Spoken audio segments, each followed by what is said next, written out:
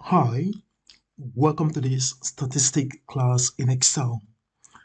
In this video, I'm going to walk you through how we can create summary statistics, how we can perform correlation coefficients, how we can calculate measure of location such as the mean, median mode, and how we can create frequency distribution based on quantitative and categorical data.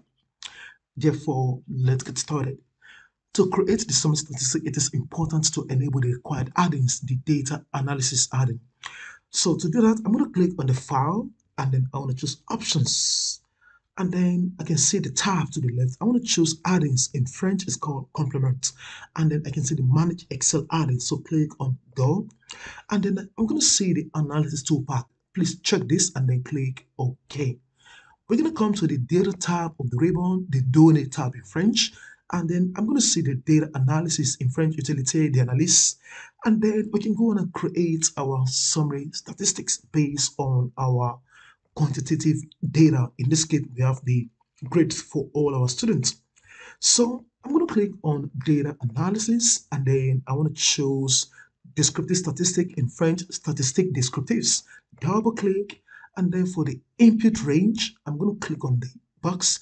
And then I want to choose this cell the cell B8, Control Shift down arrow key, Control backspace to jump to the top. And then this is going to be by columns. We want to say vertically. And then we're going to check these labels in the first row if it is not checked. So make sure this is checked because we included the label. And then for the output range, I'm going to click on the box and I want to choose cell D9. And of course, I want to generate the summary statistics. So please make sure this is checked and then click OK. There we go. So we have the summary statistic for our grade. We can see the mean. The mean is approximately 67. And then we can see the standard of error, median, mode, standard deviation, and so on. Now, based on our grade, we have the minimum score of 30 and maximum of 99. And then the sum of all this grade is 4,327, representing 63, 65 students that took part in our examination. So this is basically how we can generate the summary statistics. However, we don't know how many students score between the range of our grade. So that's going to lead us to the frequency distribution. So in frequency distribution, we have what is called bins. Now the bins allows us to group our values into two parts. For example, in our case, we have 0 to 35. So we want to see how many students score between 0 to 35. So we also have 35 to 40 and so on and so forth. So we have the lower bin and the upper bin. Now to create our frequency table, we're going to be focusing on our grade and the upper bin. So again, I'm going to click on the data analysis and I want to choose Histogram, double click, and then in the input range, I'm going to control up arrow key. So from cell B8, control shift down arrow key, control backspace to jump to the top. And then for the bin range, I want to select all the upper bin, including the label. So select downward and then make sure labels is checked. For the output, I'm going to choose this cell and then I want to see the chart output. So click chart output and then I want to choose or click OK. And there we go. So we have our frequency table. So we can see that there are four students that score between 0 and 35. And then we can see that we have seven students that score between 65 and um, 16. Okay, so this is basically how we can create our frequency table and then we can scroll and see our frequency or the chart output. So there we go. So we have the y-axis which is the frequency and then the x-axis we have the bins the upper bin so we can even customize these to make it looks good now i'm going to click on that chart uh, i want to come to the chart design and i want to choose the style so this is my favorite for frequency table and then I want to make this chart to be dynamic the title rather the title. So a single click to select the chart title and come to the body formula put equals and I want to link that up with this value here and then press enter. Lovely. So we have our chart output for frequency table. Beautiful. So I'm going to come to the correlation coefficients. Now the correlation coefficient measure the strength and direction of linear relationship between two variables usually called variable x and y, and it is represented with the R symbol. Now we can use the Pearson product moment correlation coefficient or we can use the Spearman-Rank correlation coefficient, but we want to focus on the Pearson's correlation coefficient. Now in correlation, we have three outcomes. When R is greater than zero, we say there is a positive linear correlation. And now we can have either strong positive or weak positive linear correlation. And of course, when R is equal to zero, we say there is no linear correlation. And then when R is less than zero, we say there is negative linear correlation. Again, we can have strong negative linear correlation, and then we can have weak, and we can even have medium. Okay, so these are some of the outcomes. So we want to focus on this formula. Now, before we come to this formula, let's understand our data set. In our data set, we have the month of January to December, and then we have the social media spending, and then we have the revenue. So we want to check, is there any relationship between our spending and our revenue? So let's focus on this formula. Now, when we see this formula, we can divide it into two parts. We have the upper the numerator and the lower the denominator. So we're going to solve this problem individually. We're going to start off with the numerator and then we want to start off by looking at or understanding what is this x value. Now this x value represents each value of our spending of our variable x and then minus the x mean. The x mean is the average of all our x values and then we have the y value which is the value of our revenue and then minus the y mean. Now the y mean represents the average of our revenue. So let's start off with this or taking the um, mean of x and the mean of y. So for the mean of x, I'm going to call it, I'm going to type in equals and I'm going to the average because we are dealing with mean. So we use the average function Excel to calculate mean. In French, it's called the moyenne function. So I'm going to select all of these and then close the parentheses and press enter. So this one point that represents the mean of x. So I'm going to go ahead and drag to the right and then 194 represent the mean of y. For the value of x, I'm going to type in equals and I want to reference the cell B2 and then minus. So for the mean of x, I want to click on cell B14. I'm going to apply FNF4 to make it absolute and press enter. And I'm going to double click to copy down the formula. And then I'm going to do something for the y. So the value of y, this is going to be our revenue minus the mean of y. So the mean is the cell C14. FNF4 to make it absolute. Press enter to copy down the formula. There we go.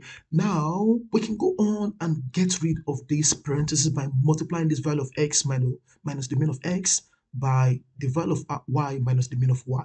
So I'm going to come here, I'm going to type in equals, I'm going to take the x multiply by the y and press enter. I'm going to double click to copy down the formula and then I want to sum at the bottom here. So I'm going to use the alt equals. So this gave me 113.39. Now this value represents the numerator. So we've solved the numerator. Now let's come to the denominator. Now for the denominator, we want to come here. First, we want to actually raise the value of x minus the mean of x raised to power 2 and then the same thing for the y. So I'm going to come here, I'm going to type in equal. So I'm going to take this x for our x and I'm going to use the caret symbol raised to power 2, press enter. I'm going to double click to copy down the formula. I'm going to do the same thing for the y. So equals the a2 and then one is the caret symbol raised to power 2, press enter and then double click. And then I want to sum this x raised to power 2 and the y raised to power 2. So I can use the alt equals. This gives me the other sum. Lovely. So now I want to come here. So we want to calculate the sum of squared for x multiplied by the sum of square of y. So this is going to be this value multiplied by this value. So I'm going to type in equals. So I'm going to take the G14 multiplied by 814, press enter. So this gives us 15,759. So I want to take the square root of this value. So I'm going to use the square root function in English. So SQ square root function.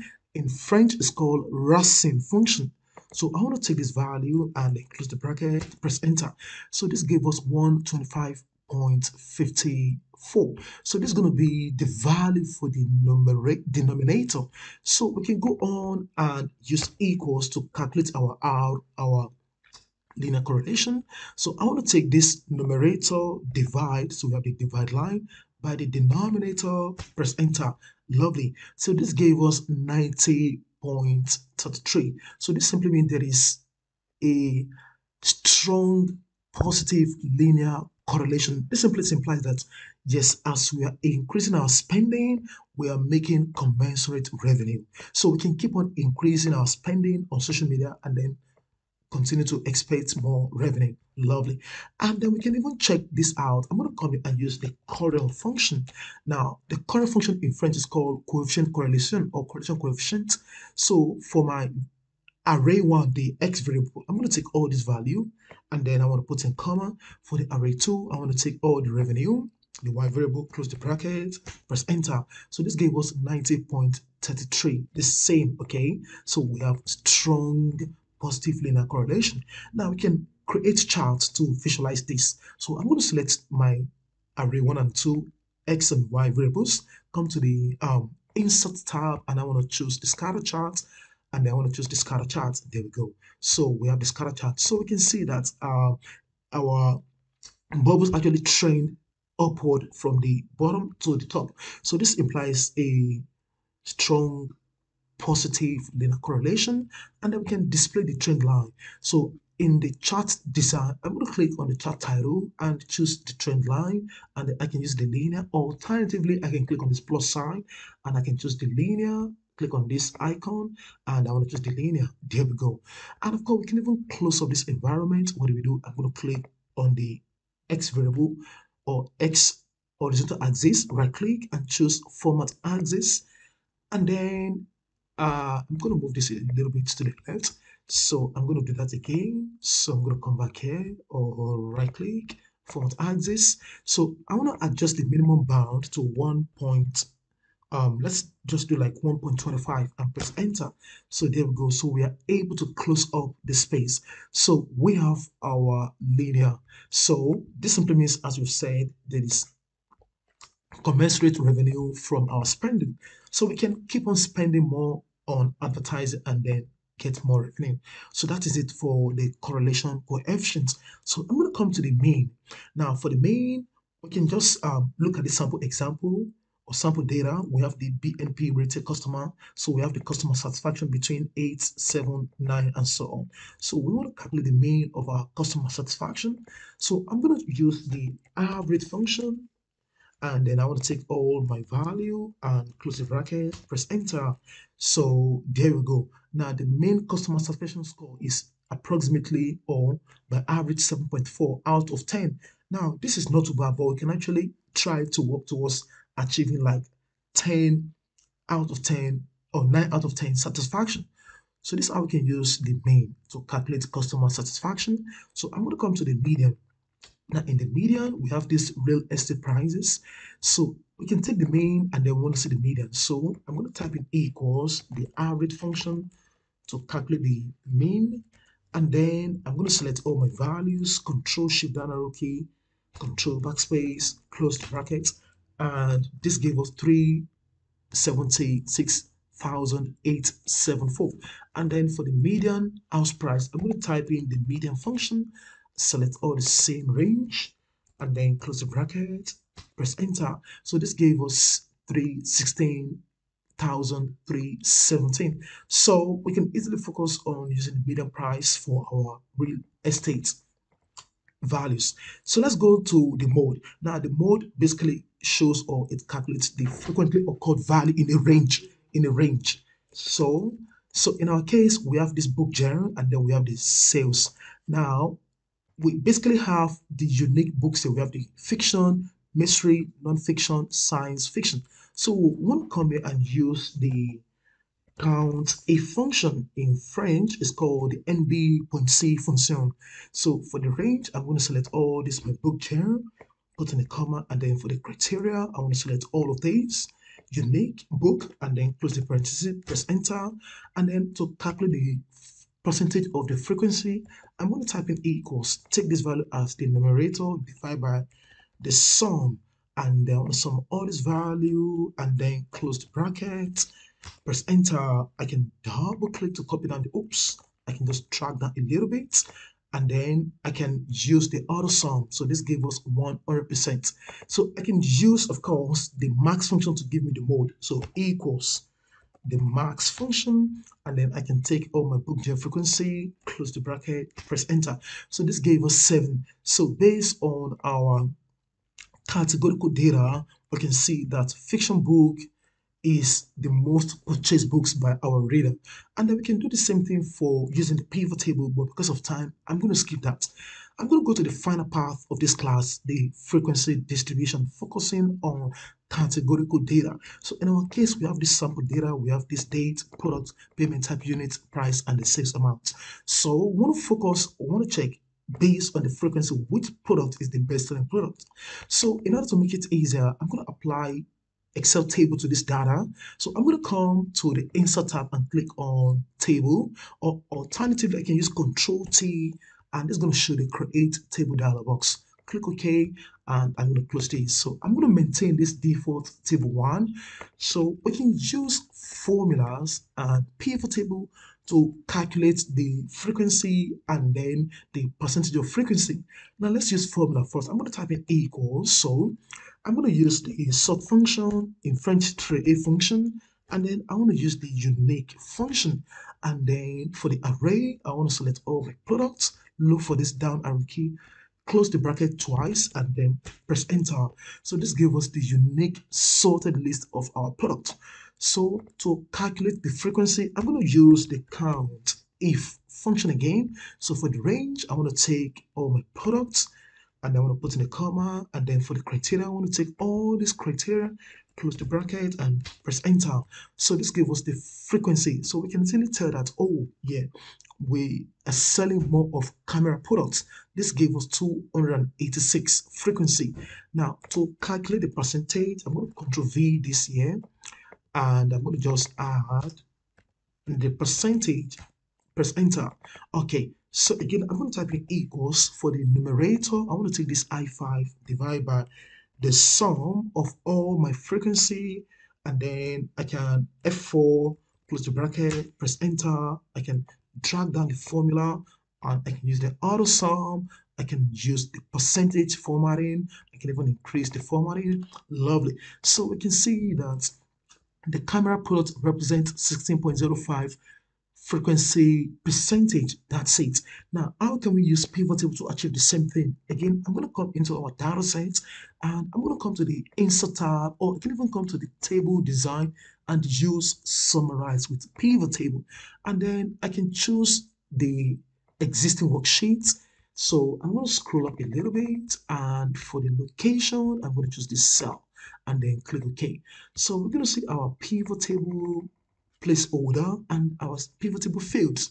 So I'm going to take this product into the rows. I'm going to take the product into the values and repeat the same the same thing for the values. So there we go. Now, instead of seeing these row labels, we want to see the name of the field, which is product. So I'm going to come to the design tab and choose report layout in French disposition de report and I want to choose show in tabular form in French Used to form the tabula. So I want to choose this and there we go. And then I can double click and rename this for the num the num personally. I'm going to call this frequency and then press enter. And then I can come here, I can right click and I want to choose show values as percentage of grand total and I can double click, I can call this one frequency percentage and let me just rename this and then click OK. So there we go. We have the same result. Beautiful. So let's see our chart output. So we want to see the column chart for the product by the frequency. I'm going to select these two um, columns and come to the insert tab and I want to come here, click on this histogram and I'm going to use in French Histogramme groupé in English cluster column chart. Click on that and there we go. I can change this style I can come to the chart design and there we go. So we have the cluster column chart for our frequency by product. What about if you want to see the products by the frequency percentage? I can select this oops I can select this and then I'm going to come here I'm going to hold down the shift left um the control key and the left click and select downwards. And this is non-contiguous selection or non-adjacent column selection. So I want to come to the insert tab. I want to choose the same or let's choose this time around the bar chart. And there we go we have the bar chart. Again I can switch to my favorite style I can get rid of this delete and I can resize there we go so we have the cluster column chart for our frequency and then we have the clustered bar chart for our frequency percentage. So this is basically how we can create frequency distribution based on categorical data. So this marks the end of the first video. See you in the second video.